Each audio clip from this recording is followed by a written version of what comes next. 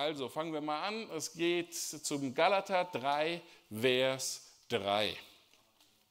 Und da heißt es, seid ihr so unverständig, im Geist habt ihr angefangen, wollt ihr es denn nun im Fleisch vollenden? Und der Überbegriff für oder der Gedanke, das Thema für heute Abend zu diesen Fragen ist ganz einfach Leben im Geist beziehungsweise auch der Wille Gottes.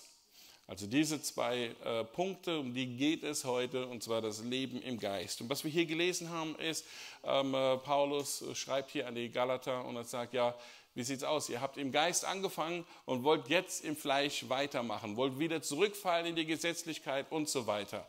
Und deshalb ist das Thema, wie gesagt, Leben im Geist, weil wir können nicht anfangen im Geist, wenn wir wiedergeboren worden sind, sind in das Reich Gottes hineingekommen, erfüllt mit dem Heiligen Geist. Jetzt fangen wir an, aber wir sind dann ähm, äh, und wandeln im Fleisch. Das, kann, das, das sollte nicht sein für jemanden, der in dem Herrn ist.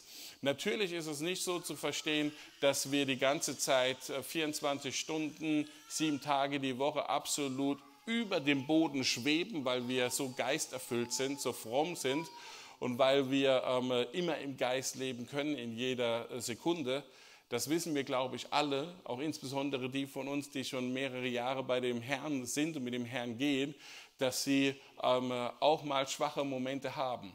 Und davon rede ich jetzt nicht, sondern ich rede immer davon heute, wenn wir vom Geist wandeln, reden, dass das unser Ziel ist, dass das unsere Hauptmotivation ist und dass wir ab und zu mal schwache Momente haben, ist völlig klar, ist verständlich. Das weiß auch der Herr, denn der Herr verlangt keine perfekte Person, äh, dass wir errettet werden. Und er verlangt auch keine perfekte Gemeinde, denn das wird es nirgendwo geben. Und ähm, wir haben hier auch keine perfekte Gemeinde. Und das heißt, wenn, wenn jemand denkt, er ist äh, perfekt, dann wäre er hier schon in der falschen Gemeinde, weil alle anderen von uns, wir sind nicht perfekt, keiner. Außer der Herr Jesus natürlich, ja. Aber ich rede von uns Menschen hier auf dieser Erde. Okay, ich lese mal kurz die Frage vor. Wir gucken uns mal in Ruhe an. Und ich weiß natürlich auch, dass ich hatte Zeit darüber nachzudenken und ihr kriegt sie jetzt direkt hingeknallt und müsst euch was überlegen. Verstehen wir alles. Und zwar, äh, ich lese es einfach mal so vor, wie sie mir auch geschickt wurde. Und äh, ihr wisst, das ging alles noch von diesem apostolischen Lifestyle-Seminar. Das sind so die Fragen. Und da ist eine, die Frage, eine dieser Fragen ist, habt äh, ihr oder hast du Tipps, wie ich mehr im Alltag und im Gebet mich vom Geist leiten lassen kann. Ich lese nachher die Frage nochmals vor, weil die geht noch weiter. Beziehungsweise, woran ich prüfen kann, ja, das kommt vom Geist Gottes und ist nicht ein Wunsch von mir. Und dadurch dann auch merke, wofür ich nicht mehr beten soll, da es nicht Gottes Wille ist. So, ihr seht, hier ist also das Thema auch Wille Gottes mit drin, aber es ist auch das Thema, äh, sich im Alltag und im Gebet vom Geist Gottes leiten zu lassen, also im Geist zu leben. Ich lese es vielleicht nochmals vor, dass es nochmals sitzt, weil ich habe es vor mir, ja nicht. Deswegen ähm, habt ihr oder hast du Tipps, wie ich mehr im Alltag und im Gebet mich vom Geist leiten lassen kann. Und deswegen hatte ich gesagt, es wäre gut, wenn es diejenigen unter uns sind, die auch schon ein paar Jahre dabei sind, weil ihr habt ja für euch auch Erfahrungen, wie ihr das in eurem Leben macht. Davon gehe ich mal stark aus. Ne? Äh, sonst, wenn ihr das nicht machen würdet, wärt ihr nicht mehr hier. Ganz einfach. Also habt ihr auch äh, vielleicht auch praktische Tipps. Und zwar was meine ich damit? Es ist einfach zu sagen, ähm, äh, bete, der Herr wird dich führen. Ja, das macht er, aber es ist, äh, kann man das vielleicht weiter erklären, kann man das weiter beschreiben. Wie, wie machst du das persönlich zum Beispiel, wenn du, wenn du sagst, ja, äh, bete und der Herr wird dich führen. Okay, dann betest du und wie führt dich der Herr? Woran merkst du zum Beispiel, dass der Herr dich führt, dass der Herr dich leitet? Dass es von ihm ist und dass es nicht irgendetwas ist, das du dir ausdenkst. Weil hier ist ja die nächste Frage, die sich da anschließt, ist, ähm, woran kann ich prüfen oder woran äh, ich prüfen kann, dass das äh, Ja, das kommt vom Geist Gottes und es ist nicht ein Wunsch von mir selbst. Und dann dadurch, dass sie merken kann, ist es der Wille Gottes oder ist es halt nicht der Wille Gottes, diese Person. Und ähm, ja, und ob sie dann dafür weiter beten sollte oder nicht. Ähm, haben wir schon ein Mikrofon? Hast du schon bereit? Okay, wer möchte mal, wir nehmen nachher auch Schriftverse, keine Sorge, wenn du jetzt gleich nicht sofort Schriftvers parat hast, mach dir keine Sorge, keinen Druck. Ähm, wir kommen noch auf Schriftverse, mit Sicherheit. Preis den Herrn. Wer möchte mal von äh, denjenigen, die sich trauen, auch mit auf der Aufnahme drauf zu sein natürlich. Wer möchte, weil sonst haben wir so ein Problem, das alles rauszuschneiden müssen, überall suchen, wo wer was gesagt hat. Das ist zu aufwendig. Bruder Ratsch.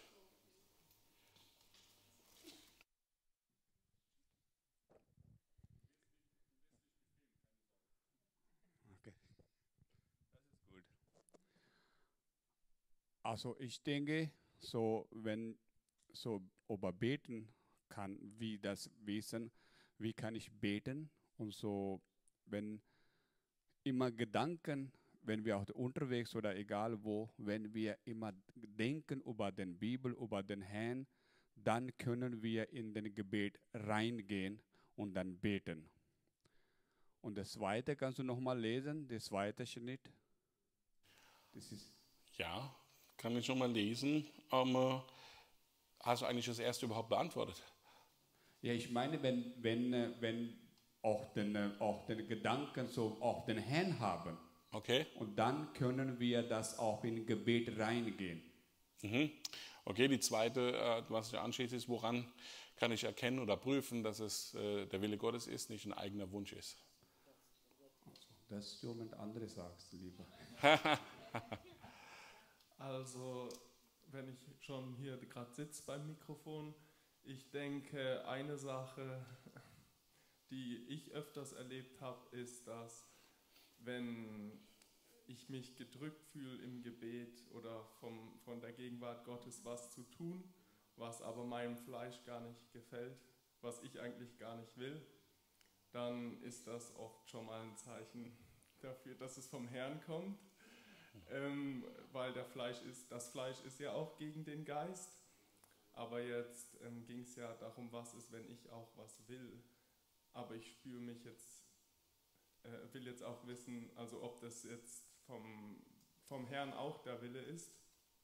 Mhm. Ähm, ich denke, da ist es von dem, was ich so erlebt habe, wichtig, sich wirklich zu befreien von dem Zwang oder das schon zu entscheiden im Voraus, ja, das werde ich jetzt machen, weil das will ich ja, und das wirklich offen lassen und dann immer wieder wie auf dem Altar legen und immer wieder zu dem Herrn bringen, bis er einem eine Antwort gibt, die halt klar ist. Und man weiß dann, okay, das ist der Wille des Herrn. Aber was, also was anderes weiß ich auch nicht, jetzt gerade spontan. Okay, machen wir erstmal weiter. Ja, Schwester Luis, dann kurz. Ja. Oder? Preis dem Herrn. Also ich habe die Erfahrung gemacht mit dem Herrn, wenn ich für irgendwas gebetet habe, da hat der Herr mir das so deutlich gezeigt. Ich hatte mal vor, lange, vor längerem für irgendwas gebetet, was mir persönlich sehr, sehr wichtig war mhm. und habe das auch immer wieder im Herrn gebracht und habe gesagt, Herr, gib mir doch ein Zeichen, ob es auch dein Wille ist. Und eines Morgens bin ich aufgewacht und habe total das Interesse verloren gehabt für das, was ich eigentlich wollte. Mhm. Und da habe ich gewusst, oh, das war nicht der Wille Gottes. Ich habe da auch nie mehr drüber nachgedacht, nicht mehr dafür gebetet. Ich wollte es auf einmal gar nicht mehr haben. Mhm. Preis Herrn, ja. So hilft auch der Herr nochmal. Da haben wir in der hinteren Reihe noch jemand, Schwester Schlagler. okay, also ähm, ich habe die Erfahrung gemacht, also ganz am Anfang, weil man das nicht so erkennt, für manche Neulingen vielleicht, ist es so, dass äh, man soll auf jeden Fall den Herrn suchen, was auch immer es ist.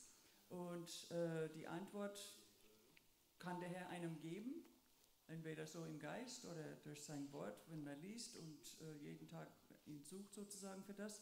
Oder ich habe es auch gehabt, dass ich nichts gehört habe, ich wusste nicht so genau, was ich machen soll.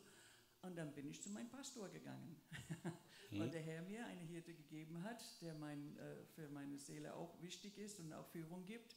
Und dann habe ich für Sicherheit gesucht damals und habe auch sofort eine Antwort bekommen. Das stimmt, Pastor Wey war das. Und äh, ich war sofort zufrieden. Ich wusste sofort, das ist vom Herrn und war glücklich darüber und keine Zweifel mehr so darüber. Also erstens das Wort Gottes, wenn es übereinstimmt, dann ist es okay. Äh, und wie gesagt, man hat noch äh, seinen Pastor, wo man dann auch äh, Bestätigung finden kann. Okay, wunderbar. Schwester Manavides, ja. Ja, das ist alles wichtig, was bis jetzt so gesagt worden ist.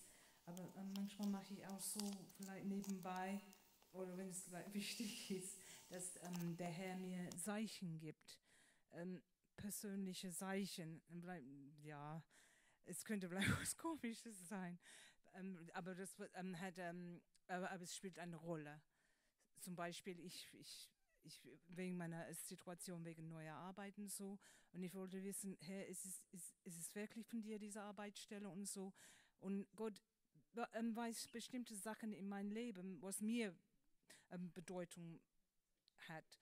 Zum Beispiel, ich habe ähm, vor lange her gesagt, äh, der Herr hat mir gesagt, etwas mit dem Monat Mai.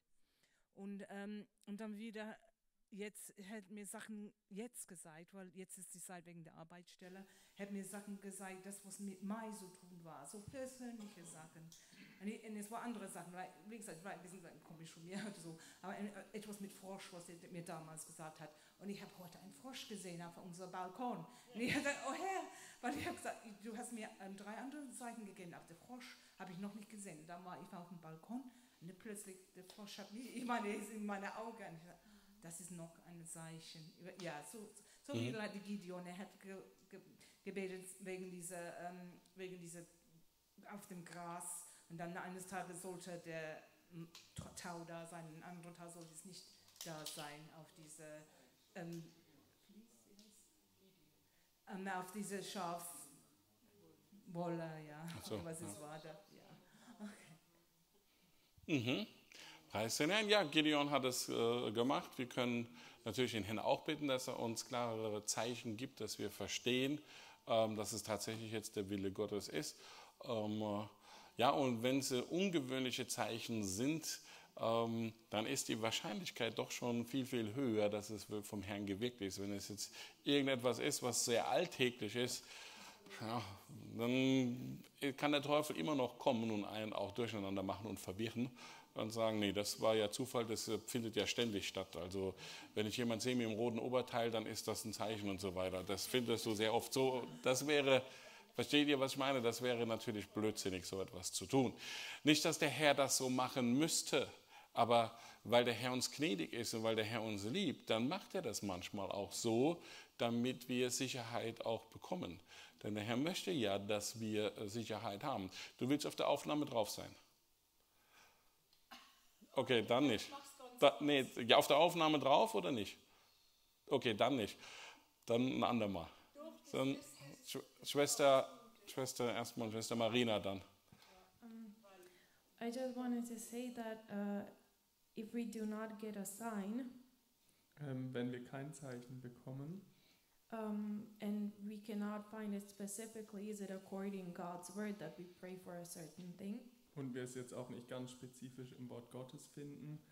But we want to pray for it. Das, wofür wir beten, aber wir wollen dafür beten. We can take example from Jesus and his prayer. Dann können wir uns auch ein Beispiel an Jesus sein Gebet nehmen. Um, he prayed when he was in the Gethsemane garden before he died, uh, was to die. Als er im Garten Gethsemane war, bevor er also sterben würde. Um, he was extremely afraid and he did not want to do that sacrifice. Da war er wirklich sehr auch von Furcht erfüllt und wollte eigentlich im Fleisch dieses Opfer gar nicht tun. That is, his flesh didn't want it, but his spirit knew that that is his purpose. Sein Fleisch wollte es nicht tun, aber sein Geist wusste, das ist der Zweck von ihm. Um, so he prayed, if it's possible, let this cup, this thing that I have to do, be taken away from me. Und dann hat er gebetet, ja, wenn möglich, dann lass diesen Kelch an mir vorbeigehen. And because he didn't know what will happen, the body didn't know what will exactly happen. weil er wusste vielleicht nicht genau im Fleisch, was ihn da alles erwarten würde. Or should he pray this thing at all? Oder sollte er sowas beten, lass diesen Kelch an mir vorbeigehen? To his prayer, he added, But in the end, not what I want that it happens, but what you want. So aus diesem Grund hat er zu dem Gebet am Ende hinzugefügt, aber nicht mein Wille geschehe, sondern dein Wille. So I think God is always okay if we pray for what we would want, Also wenn wir beten für irgendwas, was wir wollen, dann ist Gott immer okay damit. but we should always consider if it is His will and say it. If it is your, your will, then let it happen. Aber wir sollten auch immer dabei berücksichtigen und in Betracht ziehen, ist das der Wille Gottes? Ist das, was er will, das passieren soll? Okay. Alles klar. Super. Haben wir? Gut. Dann machen wir mal weiter erstmal so. Ähm, äh, ja, da waren, waren gute Antworten mit dabei und äh, auch aus eurem äh, Leben, wie ihr das macht. Und das finde ich gut. Ähm, das hilft auch mal, wie soll ich sagen, mit, mit praktischen Hinweisen jemandem zu helfen, der vielleicht noch neu bei dem Glauben dabei ist oder neu hier in der Gemeinde ist. Und äh, ich habe das extra so gemacht, weil solche Fragen können euch auch mal gestellt werden von anderen Geschwistern, die gerade neu zum Herrn gekommen sind. Und äh, da, da, brauchen die Erfahrungswerte von euch und Hilfe von euch. Und äh, da war, war einiges äh, Wunderbares mit dabei. Der Gedanke hier ist äh, Leben im Geist. Ich lese mal noch eine Stelle vor in Römer 8 äh, die Verse 1 bis 17 und werde dazu auch gleich immer was sagen. Römer 8, 1 bis 17. So gibt es nun keine Verdammnis für die, die in Christus Jesus sind, denn das Gesetz des Geistes, der lebendig macht in Christus Jesus, hat dich frei gemacht von dem Gesetz der Sünde und des Todes.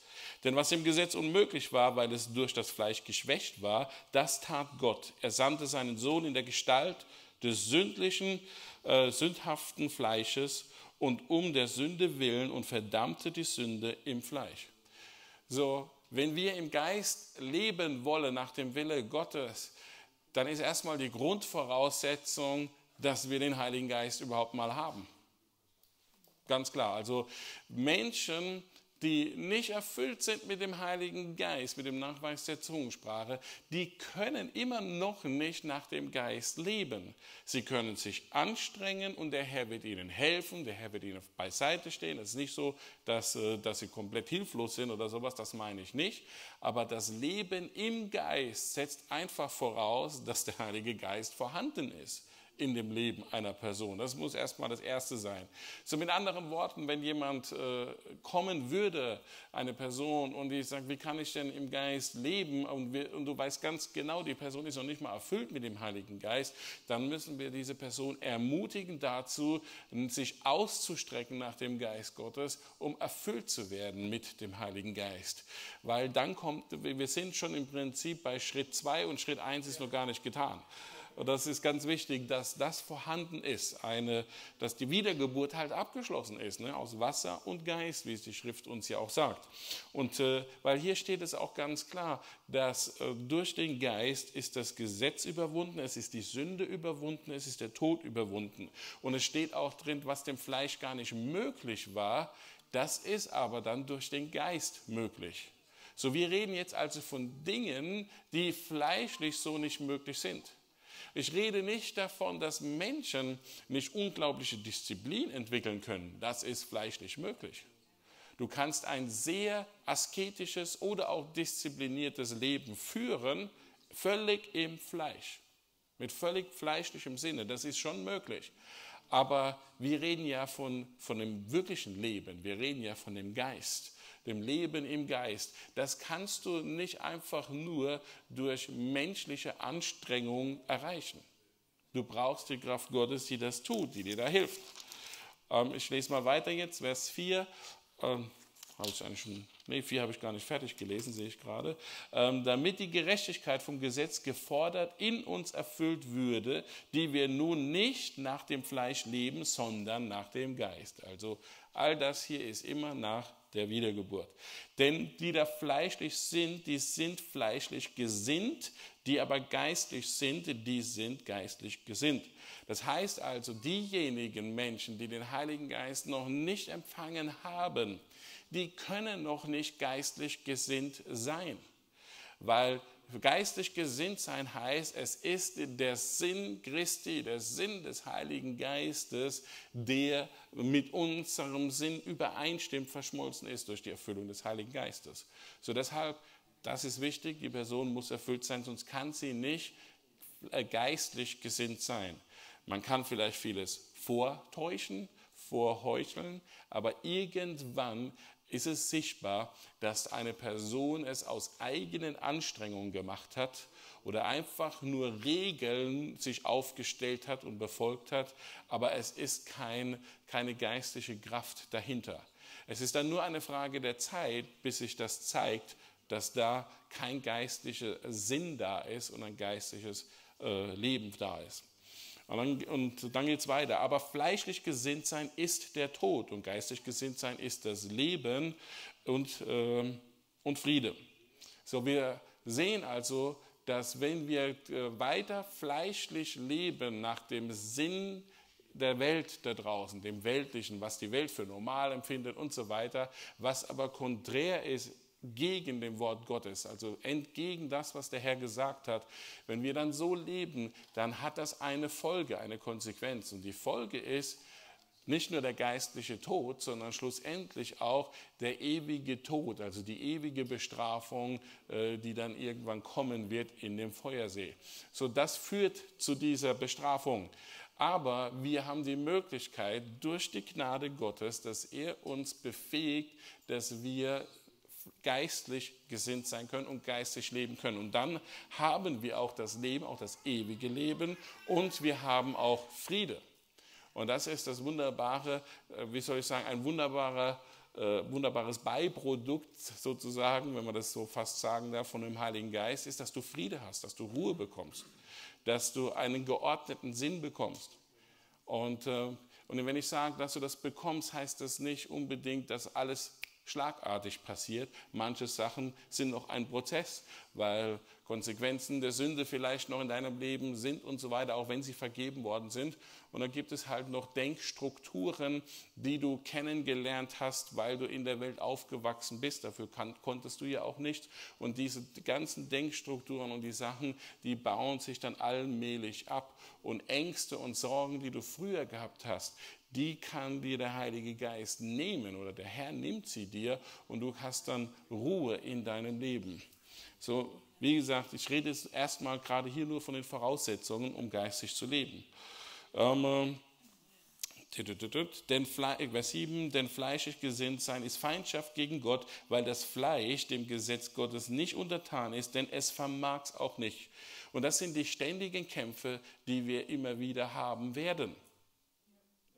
Und ich glaube auch jeder, der länger schon bei dem Herrn ist, der wird dir auch sagen können, dass ja, es sind diese Kämpfe immer mal wieder da. Und äh, die diejenigen, die noch äh, neu dabei waren, haben vielleicht in verschiedenen Bereichen immer wieder häufiger Kämpfe. Und je länger sie aber mit dem Herrn gehen, desto mehr Siege haben sie errungen und desto weniger werden die Kämpfe in diesen Bereichen. Und irgendwann kann es mal sein, dass es in einem Bereich gar keine Kämpfe mehr für dich gibt. Das heißt aber nicht, dass du überhaupt nie wieder Kämpfe haben wirst. Da gibt es halt andere Dinge und andere Bereiche, wo du Kämpfe haben wirst. Aber am Anfang ist es oft, das sind so viele Dinge, die dann als auf einen zukommen. Man will ja, oh, das klappt doch nicht und so weiter. Und man hat einige Kämpfe. Aber der Herr ist immer da.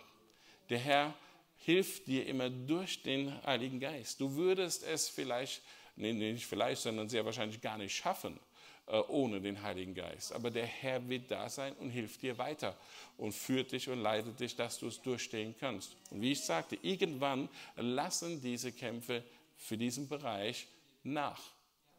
Und dann kommt halt eventuell was anderes. Und äh, auch da wird dann der Herr dich hindurchbringen. Und das Schöne ist, wenn du schon eine Sache gemeistert hast tatsächlich, dann hast, dann das stärkt deinen Glauben unheimlich.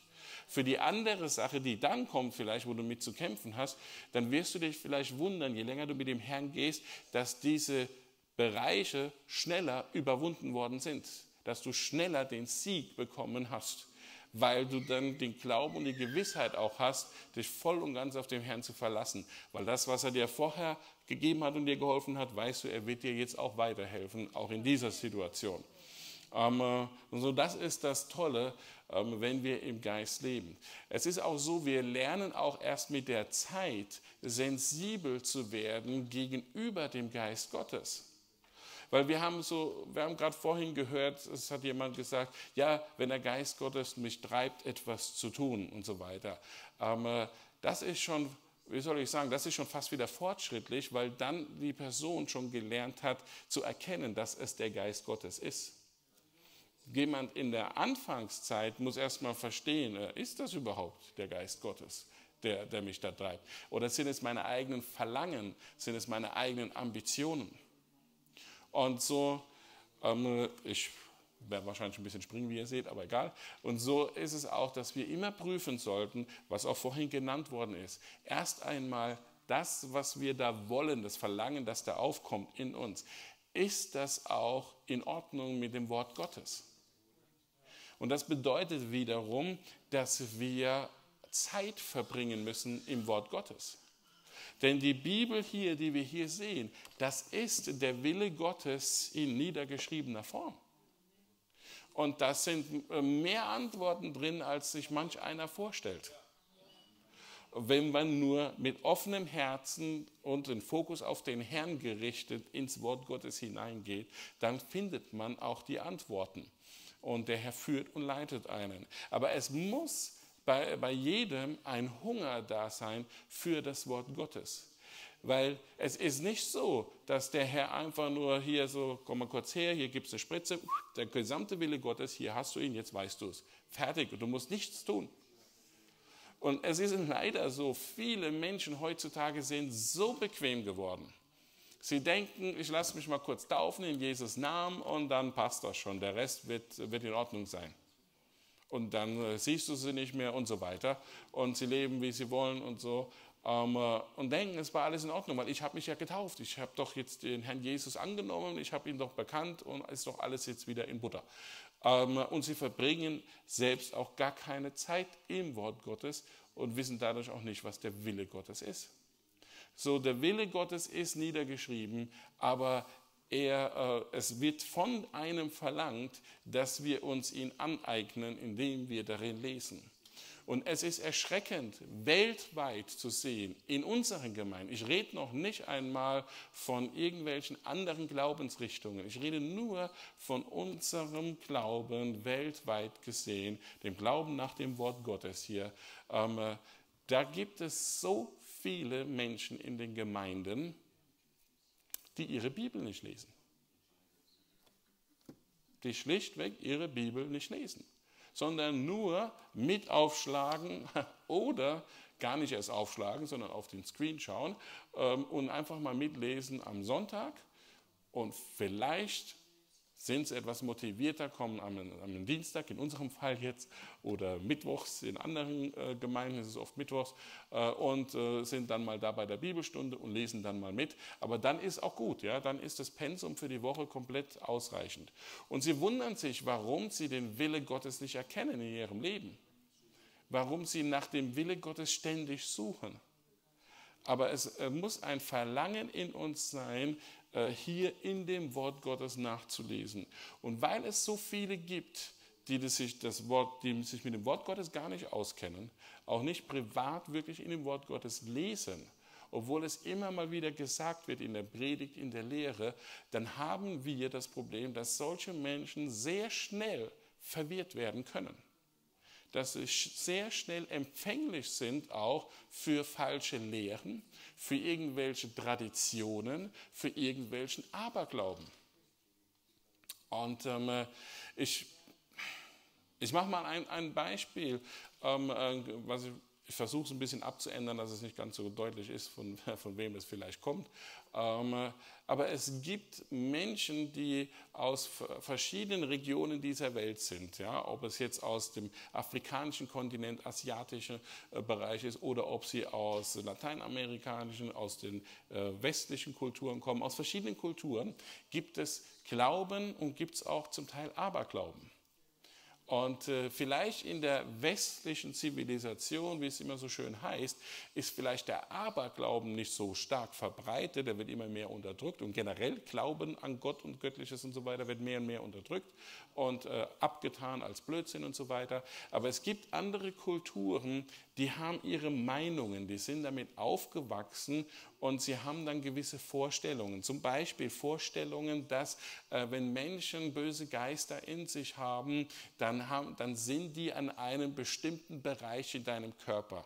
Ich möchte jetzt nicht sagen, äh, wo sie es glauben, aber es ist in einem ganz bestimmten Bereich in dem Körper und das bedeutet dann, dass wenn, äh, wenn dann für die gebetet wird und so weiter, ähm, dass ihnen dann extrem schlecht werden muss ähm, und sie werden sich dann übergeben oder sie werden andere äh, Geräusche machen, rübsen, aufstoßen, uns übergeben und so weiter, so verschiedene Dinge. Solche Vorstellungen gibt es und die gibt es vielleicht nicht umsonst, sondern weil tatsächlich so etwas Ähnliches mal passiert ist und man hat früher darüber geredet und es hat sich weiter verbreitet und es passiert weiter.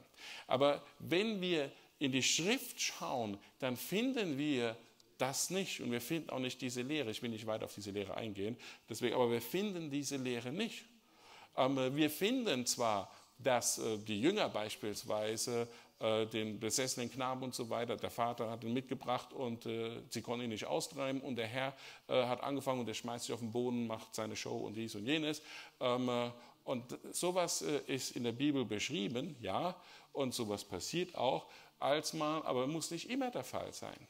Es muss nicht immer eine solch krasse Demonstration sein. Und ich denke auch, das ist jetzt, das sage ich jetzt von mir, das ist meine Meinung zu diesem Thema, ist, dass, äh, dass der Teufel ist nicht dumm. Der Teufel weiß, was in den einzelnen Regionen geglaubt wird, was verbreitet worden ist. Und in manchen Situationen stellt er das einfach nach. Und, und damit die Leute in diesem Glauben oder Aberglauben auch gefangen bleiben. Ich mache mal ein Beispiel aus unserem Breitengraden aus der westlichen Kultur. Die westliche Kultur, die, äh, hoffentlich nicht wir, aber die kennen Filme wie Der Exorzist. Ähm, ich weiß nicht, wie viele Teile es gibt, aber es gibt, glaube ich, nicht nur einen davon und irgendwelche Remakes und was weiß ich, keine Ahnung. Und äh, da werden bestimmte Sachen beschrieben, wie sich ein böser Geist verhält, was er da macht, wie er redet, wie er die Stimme verändert und äh, wie jemand die Wände hochgeht, seinen kompletten Kopf dreht und lauter so, so komische Sachen dann auch äh, beschrieben. Und ich sage nicht, dass das niemals passiert ist. Aber weil das jetzt bekannt ist und das ist als in den Köpfen von den Menschen, benutzt es der Teufel. Und ich, sage, ich gehe weiter, denn ähm, ich hatte ja mal erzählt, dass ich mal reingeseppt habe in ein Interview von einem Priester, der sich mit Exorzismus beschäftigt, einen katholischen Priester. Und dieser Priester beschreibt dann auch, ja, er selbst hat das auch erlebt, dass, die, dass eine Person dann auf einmal die Wände hochgelaufen ist. Und, äh, und damit möchte ich sagen, du siehst also, was der Teufel benutzt. Er benutzt Dinge, die die Leute aus ihren Regionen kennen und äh, was sie schon mal gesehen haben oder ihnen gezeigt wurde und sonst sowas, um Menschen zu verführen. Weil, warum sage ich zu verführen? Weil sie jetzt dann doch glauben, dass der Priester, dieser Exorzist, dass er in der Lage ist, mit seinen Ritualen, mit seinem Kreuz, mit seinem heiligen, geheiligten Wasser und dem Käse und so weiter, dass er dann in der Lage ist, einen solchen Dämon auszutreiben. Und, ähm, und der Teufel spielt mit, mit diesem Aberglauben. Und, äh, und wenn, wenn ich persönlich jetzt so ein böser Geist wäre und ich hätte da jemanden, der nicht vom Herrn gerufen ist, der nicht erfüllt ist mit dem Heiligen Geist, ähm, äh, und, ich will aber diese Person weiter kontrollieren und ich will weiter diese Familie tyrannisieren, dann würde ich erstmal in diesem Spiel mitmachen. Dann würde ich schnell mal hochkrabbeln, die, die Wände oder die Person hochkrabbeln lassen, weil sie können ja auch äh, gewisse Wunder wirken. Und dann würde ich diese, diese Prozedur, die ich ja dann als böser Geist ja kenne, ne, äh, würde ich über mich ergehen lassen und so weiter und dann würde ich mich ruhig verhalten. Oder würde das so machen, dass, äh, dass das Mädchen, was weiß ich, sich dann übergibt und jetzt denkt er, jetzt ist der böse Geist ausgefahren und, äh, und dann war es das. Aber in Wirklichkeit weiß ich ganz genau, ich habe sie alle getäuscht und die, diese Familie, dieses Mädchen ist nicht wiedergeboren aus Wasser und Geist und die, diese Familie wird trotzdem verloren sein, wenn der Herr nicht eingreift natürlich. Und das meine ich damit. Wenn wir das Wort Gottes nicht kennen, dann kommen wir zu falschen Schlussfolgerungen und glauben irgendwelche verrückte Geschichten. Ein weiteres Beispiel, und dann höre ich auf damit, ähm, ein weiteres Beispiel ist, dass äh, ich habe mal gesehen, wie jemand geteilt hat, das muss man sich unbedingt angucken, weil da war eine Person, die war für glaub, 37 Minuten oder länger, kürzer, ich weiß nicht ganz genau, in der Hölle wirklich in der Hölle präsent. Keine Vision oder so, sondern in der Hölle drin selber. Und dann ist sie jetzt wieder zurückgekommen aus der Hölle und berichtet darüber zu den Leuten. Aber in meiner Bibel finde ich das nicht, dass diejenigen, die in der Hölle sind, die kommen nicht mehr raus, um zu evangelisieren. Und auch in der Geschichte vom armen Lazarus und so weiter, ne, ähm, äh, da sehe ich nirgends, der Reiche hat ja darum gebeten, lasst mich raus, damit ich zu meinem Verwandten und so weiter reden kann. Nein, das gibt es nicht.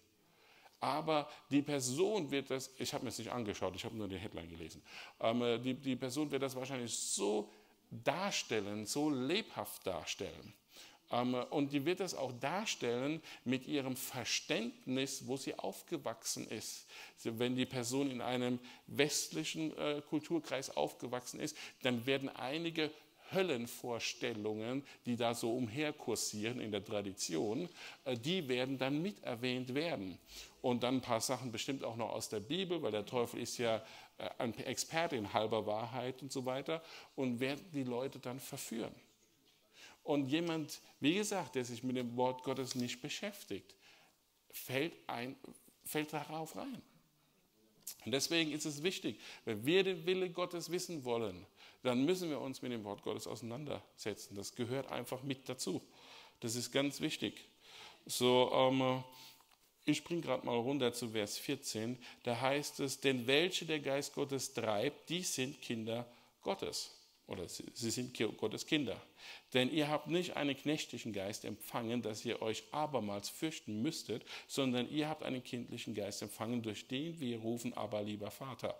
So, dann heißt es auch, der Geist selbst gibt Zeugnis unserem Geist, dass wir Gottes Kinder sind. Sind wir aber Kinder, so sind wir auch Erben, nämlich Gottes Erben und Miterben Christi, wenn wir denn mit ihm leiden, damit wir auch mit äh, zur Herrlichkeit erhoben werden.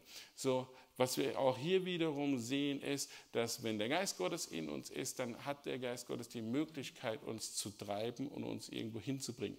Nur in der Anfangszeit ist es etwas, das du vielleicht nicht gleich verstehst. Ist es der Geist Gottes oder ist es was anderes? Weil auch der Teufel ist ein Experte in Imitation. Der kann, äh, der kann Verhalten nachimitieren äh, und Eindrücke nachimitieren. Und da kann es manchmal schwer sein, das zu unterscheiden. Und da kommen wir zu dem anderen Punkt, der erwähnt worden ist. Ich muss wegen der Zeit ein bisschen schauen. Ähm, und zwar, du hast einen Hirten bekommen in der Gemeinde oder Hirten. Aber in unserem Fall haben, bin ich nicht der Einzige. Wir haben auch noch äh, unseren Bischof da, der ebenfalls mit da drauf schaut und auch ebenfalls ein geistliches Gespür hat und die Erfahrung hat äh, aufgrund der vielen, vielen Jahre. Ähm, und das ist ein Schutz, den wir haben, den wir in der Gemeinde generell haben. So, wenn dann Dinge sind und du denkst, das ist der Geist Gottes, der dich dazu treibt, dann äh, und du, du, du weißt nicht, wie du das sonst prüfen kannst, dann ähm, geh selbstverständlich ins Gebet, aber dann komm auch ruhig ja, zu mir zum Beispiel. So, komm ruhig zu deinem Pastor. In unserer Gemeinde ist es halt mal bei mir hier. Ähm, äh, oder auch zu, zu meinem Vater, der ist auch noch da.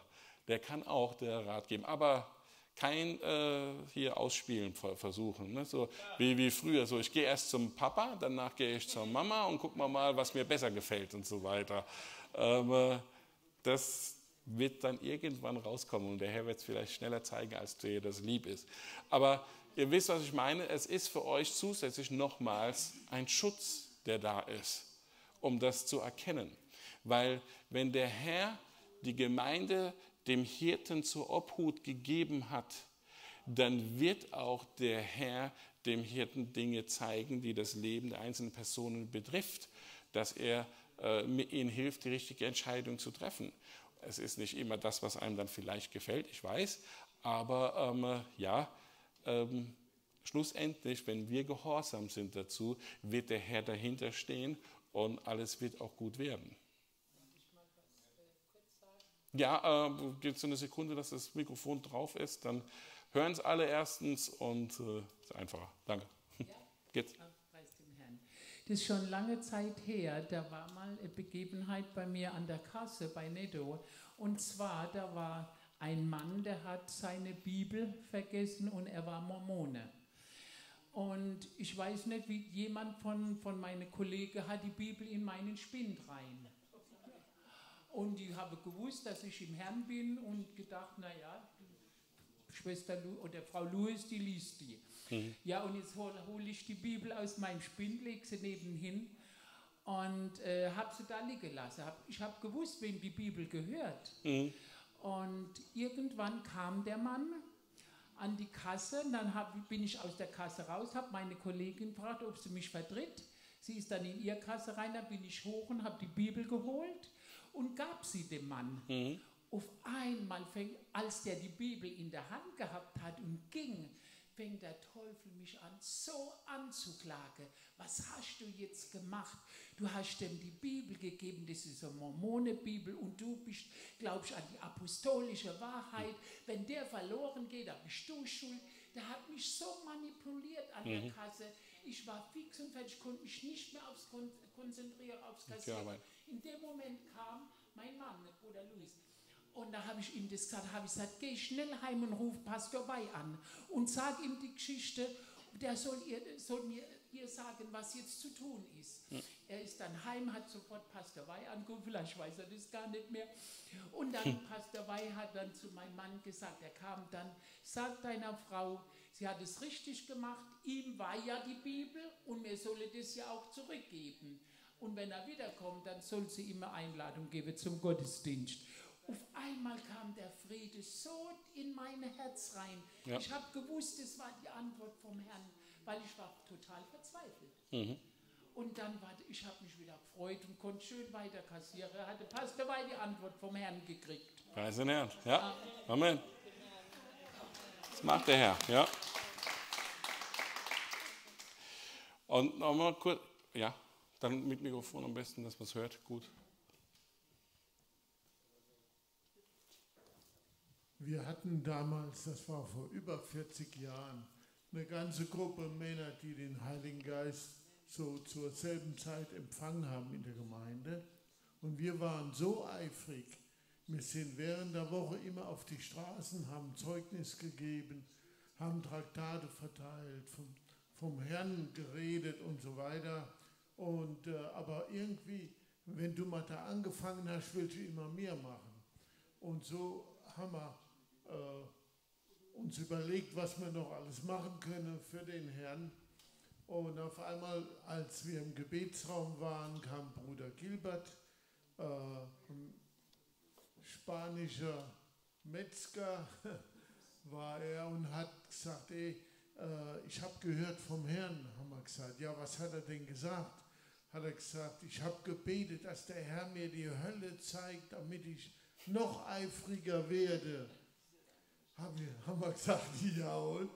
Und da hat er gesagt, ja, der Herr hat mir geantwortet, hat gesagt, äh, sollst nicht für so Dinger beten, bete, dass der Herr dir den Himmel zeigt, weil das, was da unten abläuft, willst du gar nicht sehen. Ja. So, äh, das ist nur vorweg, damit du nicht anfängst zu beten. Herr, zeig mir die Hölle. Ich will ein guter Zeuge sein. Ja. Und, und da siehst du, das ist diese gute, gute Intention, die manche haben, weil sie denken, das ist fleischliches Denken. Wenn ich sehe diesen Schrecken, dann kann, ich, äh, dann kann ich äh, effektiver sein und so weiter. Aber der Herr hat vielleicht was ganz anderes vor für dich in deinem Leben, äh, dass du das gar nicht siehst, um effektiv sein zu können. Und, ähm, und das sind manchmal Dinge, die junge Christen ähm, noch nicht so verstehen. Ist es jetzt wirklich ein Wunsch, der von dem Herrn gewirkt ist, oder ist es äh, der eigene Stolz? Ich mache mal, ich, ich mach mal ein persönliches Beispiel. Ähm, was mich mal betroffen hatte, ist eine Weile her, aber äh, egal, das ist äh, mal was Persönliches. Und zwar, das war nicht im Gebet, oder es war am Ende des Gebets vielleicht so rum, ja, es war gerade fertig und äh, war noch da so gesessen und du denkst halt manchmal noch so drüber nach, was du so gebetet hast und was es so ging und ich habe über verschiedene Sachen nachgedacht. Ich glaube, ich habe über eine äh, über verschiedene Konferenzen damals in Amerika und so weiter nachgedacht. Und dann kommt so ein Gedanke auf einmal, ähm, ähm, ja, irgendwann, irgendwann wird der Herr dich auch benutzen, äh, dass du auch dort mal predigst, dass du auch mal dort auf den Konferenzen predigst. Und dann auf einmal, ich war dann so drin und dachte, mh, mh, ja, und, ähm, und dann auf einmal, wie, wie eine, fast schon wie eine Art Vision, also wie so ein Tagtraum, wie man das halt so kennt, ne? auf einmal habe ich mich da so hineingleiten lassen von dem Ganzen und habe mich dann so gesehen, ja, beim Predigen und preis den Herrn. Menschen reagieren darauf, preisen den Herrn, werden erfüllt mit dem Heiligen Geist. Nicht nur, ich habe noch nicht äh, dafür für die jetzt gebetet, dass sie den Heiligen Geist empfangen haben, sondern andere haben mitgebetet. Aber die Predigt, die war so gut, die war so toll, die war so effektiv und hat die Menschen so erreicht. Und, und ich habe es dann noch nicht gemerkt, sondern äh, es war irgendwie so, das hat so ein gutes Gefühl ausgelöst. Für das Fleisch sind es gute Gefühle, ähm, äh, weil mh, mm, erfolgreich, super. Ähm, äh, und, und dann habe ich weiter, weiter da, mich reingesteigert oder reinsteigern lassen in diesen Gedanken. Und das ist das Letzte, was ich heute sage, versprochen, dann hör mal auf. Ähm, habe mich so weiter hineinfangen lassen und dann kamen dann so Dinge und dann stell dir vor, wenn dann jemand plötzlich kommt, eine Person, die ist, die ist besessen von einem Dämon. Und äh, was war es denn in meinem Fall? Eine, Frau, glaube ich, war das noch, ja. Eine, eine Frau, die dann besessen ist und äh, die, die, die Leute beten für sie und die schreien und machen und tun alles, wie wir das als manchmal kennen von denen und es passiert nicht. Und dann geht es weiter. Dann kommt auch noch Fantasie und Sachen mit dazu, die der Teufel auch benutzt. Ne? Und die entwickelt durch die, durch die Dämonen eine solche, solche Kräfte, die Leute können die gar nicht halten und so weiter. Und, äh, und, äh, und ich würde es sehen in dem Ganzen und dann ähm, äh, gnädigerweise, so verführerisch ist es, gnädigerweise kommt der Herr über mich, der Geist Gottes, mit so einer Kraft, dass ich äh, dass ich zu dieser Frau hingegangen äh, bin und die wollte, äh, wollte mich angreifen, konnte es aber nicht. Und, und, und, und dabei kommen die Gedanken und während das alles geschieht, sehen das die anderen, sehen das bestimmte Pastoren, bestimmte Evangelisten, ich will nicht sagen wer, äh, in meiner Fantasie und so weiter. Und die sehen das dann auch. Und die sehen, wie der Herr dich wunderbar benutzt, kraftvoll in diesem Dienst. Und ich bin dann in diesem Tagtraum sozusagen, bin ich dorthin gegangen und, ähm, und habe dann ohne großes Tamtam -Tam einfach in Jesus Namen schweigen und verstumme und so weiter und habe dann mit der, bin, dann zu der Person hingegangen und habe sie gefragt, äh, will sie frei werden, will sie dem Herrn dienen und so weiter und habe dem Dämon befohlen, er soll ruhig sein, ich will es von ihr hören und so, so lauter so sagen, also es ist richtig ausgemalt alles. Ähm, und sie hat dann äh, gesagt, sie will frei werden und so weiter und dann einfach dafür gebetet. Und dann kam der nächste Gang und siehst du, du musstest gar nicht mal so eine riesen Show und diesen alles machen, weil der Herr dich so stark benutzt hat, das will der Herr doch für dich tun. Und ich habe gemerkt, wie, wie mir das gefallen hat und als das so, und das ging dann noch weiter. Und dann irgendwann hat es mal gemacht und er sagt, stolz, hallo. Und ich sage, okay. Also es ist zwar schön, es ist der Wille Gottes, dass sein Wort gepredigt wird, es ist der Wille Gottes, dass viele Menschen erfüllt werden mit dem Heiligen Geist und zum Herrn kommen und so weiter. Es ist auch der Wille Gottes, dass Besessene ausgetrieben werden. Aber was ist das Motiv? Es gefällt mir das dann auf einmal. Und äh, habe ich dann den Gedanken, so, jetzt sehen das auch die anderen Pastoren und so weiter und erkennen, dass der Herr auch mit mir ist. Das ist ganz, ganz falsche Motive. Und das, das siehst du Fleisch, das fleischliche Verlangen. Das ist, das, das ist, das ist von, von Satan, das ist äh, ja, Luzifers Gedankengut. Ich will auch was sein. Ich will auch zu den Großen gehören und so weiter. Und, äh, und das äh, am Anfang habe ich so einlullen lassen. Und das kann passieren auch mit Menschen, die neu im Herrn sind, die dann, äh, sich dann vorstellen, wie es ist, wenn sie dann für Kranke beten und die werden gesund. Oh, toll. Wahnsinn, der Herr hat, mein, hat, mir einen Dienst gegeben und, und so weiter. Das, ist, sind so, das sind nur feine Nuancen. Natürlich beten wir für Leute, die krank werden und wir wollen, dass sie gesund werden. Ähm, äh, aber der Herr wird dich nicht benutzen, um deinen Dienst zu profilieren und Fokus auf dich zu richten, sondern der Herr wird dich benutzen, damit er verherrlicht wird. Und äh, am besten ist es immer so, dass du bei solchen Dingen überhaupt gar nicht die Aufmerksamkeit von anderen Leuten bekommst, sondern dass das einfach passiert und dass da keiner sagen kann, es war wegen dir. Und äh, deshalb finde ich auch auch gut, auch wenn sie vielleicht nicht immer jedes Mal umsetzen lässt. Ich verstehe das schon. Aber wenn Leute ein spezielles Gebet haben wollen eine, wegen einer Krankheit oder wegen einer Sucht oder sonst sowas, dann, ähm, äh, das hat mein Vater dieses Prinzip auch gelehrt und gesagt, dann ist es gut, zum Beispiel, wenn wir zu zweit für die Person beten. Weil dann kann nie dann dieser Gedanke erstmal in einem selber und vor allen Dingen auch nicht in der anderen Person kommen, ah, weil er jetzt für mich gebetet hat da gehe ich hin. Und das ist die Gefahr von vielen Leuten, deswegen rennen sie irgendwelchen Propheten hinterher, irgendwelchen Heiler hinterher. Oder ich kriege eine E-Mail, hatte ich auch schon bekommen. Ja, die Schwester Pastorin sowieso, irgendein Name, habe ich in meinem Kopf, äh, die kommt jetzt auch nach Deutschland und da werde ich endlich befreit von den Dämonen, die mich so klar, äh, plagen. Und von dieser Person hatte ich schon früher Wochen früher eine E-Mail bekommen, ähm, ob wir Befreiungsdienst machen und die Leute befreien und austreiben und Dämonen und dies und jenes. Und er hätte das schon etliche gemacht bei anderen Leuten und so weiter. Und das siehst du, das ist jemand, der nach so etwas sucht. Und der rennt dann zu diesen Prophetinnen, Propheten, Aposteln und wie sie sich alle nennen wollen und Glaubensheiler und keine Ahnung, ähm, rennt zu diesen Leuten, weil sie das haben wollen und denken, die sind es. Und die selbst sind so verführt von dem Geist dieser Welt.